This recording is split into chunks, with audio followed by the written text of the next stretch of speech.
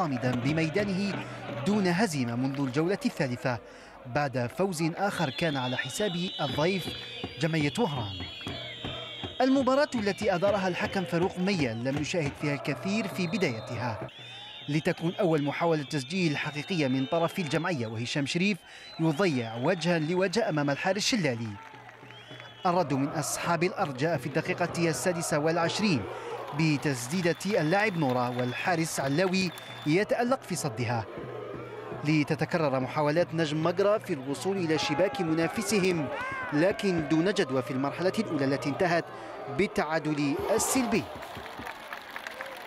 الشوط الثاني نجم مقرة يضغط فيه أكثر وحاميتي كاد أن يفتتح باب التسجيل من كرة ثابتة لتأتي الدقيقة السابعة والخمسين بالجديد. ركنية للنجم كرة بين أخذ ورد وبالعنصر ينهيها في شباك علاوي مسجلا الهدف الأول.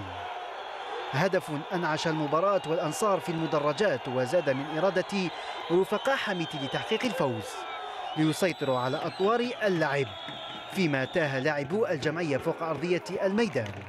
أمر مكن نجم مقرة من الوصول مرة ثانية إلى شباك منافسهم وإضافة الهدف الثاني في الدقيقة السادسة والسبعين بواسطة اللاعب نورا الذي استغل كرة في العمق. وقبل عشر دقائق عن نهاية المباراة النجم يكمل اللعب بعشرة عناصر بعد تلقي بالعنصر بطاقة صفراء ثانية كلفته الحمراء. نقص عددي لم يغير شيئا في النتيجة ونهاية اللقاء بفوز نجم مقرا بهدفين لصفر.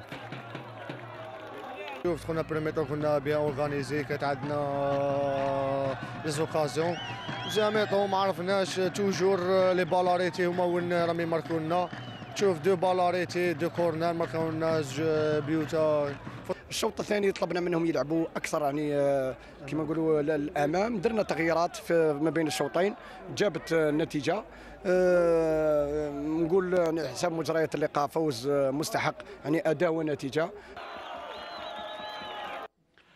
اذا